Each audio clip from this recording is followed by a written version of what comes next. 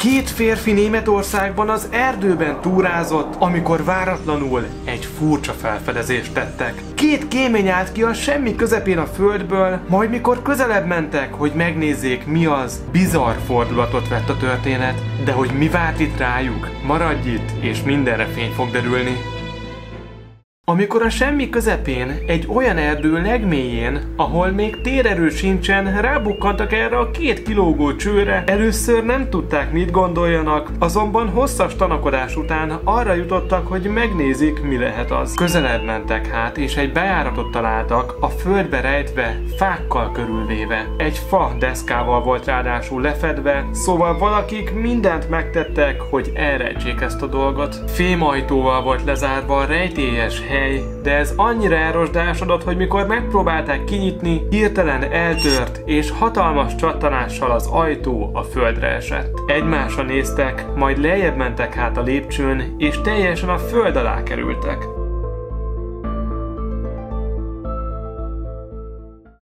Itt aztán véget nem érő folyosókra bukkantak, kórházra hasonlító színekre festve. Vak sötét volt lent, leszámítva a lámpájuk fényét, és minden egyes lépés vízhangzott, amit tettek a föld alatt.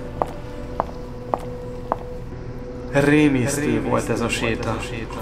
Egyik folyósóból indult a másik, egy idő után pedig labirintusban érezték magukat, így attól tartva, hogy eltévednek és étel nélkül lent ragadva nagy bajba kerülnének, eldöntötték, hogy csak és kizárólag egyenesen fognak tovább haladni. Sok percnyi séta következett, azonban végül rábukkantak egy apró szobára, aminek az alján ez a lyuk volt. Mikor belenéztek, akkor piszkos vízzel volt tele, így arra jutottak, hogy egy lefolyórendszer lehet a létesítmény alatt, ha pedig szennyvíz vízelvezetés van kiépítve, akkor biztosan valami működő dolog lehetett ez régen. Tovább haladva azonban egyszer csak egy elzárt ajtóhoz értek, ahol graffiti feliratokat találtak. Ezek szerint tehát voltak már más emberek is itt.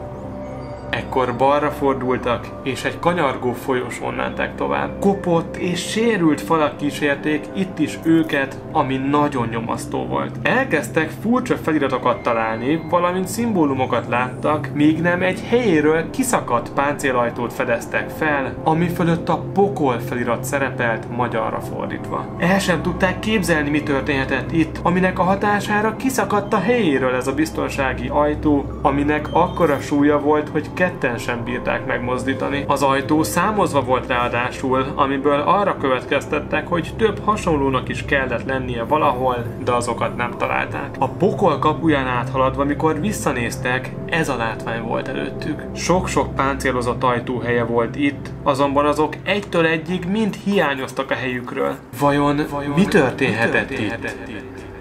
Találtak szellőztető berendezésre hasonlító csöveket is, amiről azt gondolták, hogy esetleg ez végződik a két felszín fölött látható kéményben, de pontosan nem tudták elképzelni továbbra sem, mi lehet ez a hely, vagy mi ennek a története. Ahogy egyre mélyebbre és mélyebbre haladtak a misztikus épületben, egyre lerobbantabb helyekre találtak, és minden szoba, valamint folyosó sokkal sérültebbnek látszott. Itt újabb graffitikre bukkantak, aminek a szövege az volt, hogy Hello sátán és I love you. Egyre horrorisztikusabb lett ez az egész, és bár kezdetektől fogva rettegtek lent a föld alatt a semmi közepén térerő nélkül, most már kezdett teljességgel elviselhetetlen lenni az érzés, és azon gondolkodtak, megfordulnak, és inkább elmenekülnek. Másik sátánista jelképek is felbukkantak, aztán egy furcsa írás 22-11-es számokkal. Nem tudták ez mit jelenthet, viszont itt elkezdett lejteni a folyosó, és egy beázott helyre jutottak nem sokára, ahova már nem mertek besétálni, csak képeket készítettek az elárasztott helyekről, amit onnan láttak. Törmelékek és valami fajta elszívó rendszer volt itt, ahonnan hatalmas csövek indultak ki, és mikor jobban rázumoltak az egyik sarokra, akkor még kesztyüket is találtak, sőt, adatta egy cipőt is a sárban. Ezek a holmik viszont olyan réginek tűntek, hogy már akár évszázadok óta is ott lehettek. Látni lehetett egy furcsa ajtót onnan, ami előtt egy hatalmas földre zuhant tábla volt, amin az szerepelt, hogy maradj távol. Ekkor egy hatalmas csattanás hallatszott, ami végig söpört a föld alatti intézményen, és úgy vízhangzott, hogy azt hitték, megsüketülnek. Hirtelen pedig kikapcsolt mindkettőjük telefonja, és úgy megrémültek, hogy azonnal futva indultak a kiárat felé, nehogy a lámpájuk is meghalljon, és örökre a szupertitkos elhagyatott föld alatti bázis fogjai legyenek. Végül hosszas keresgélés után, mivel visszafelé olyan érzésük volt, mintha egy teljesen más helyen lennének, és többször is eltévedtek, mégis sikeresen kijutottak, és hazáig meg sem álltak. Szerencsére tehát megúzták élve az esetet, feltöltötték a netre, amit találtak, de soha többé még csak az erdő közelébe sem mentek ezután, ahol a kéményeket találták.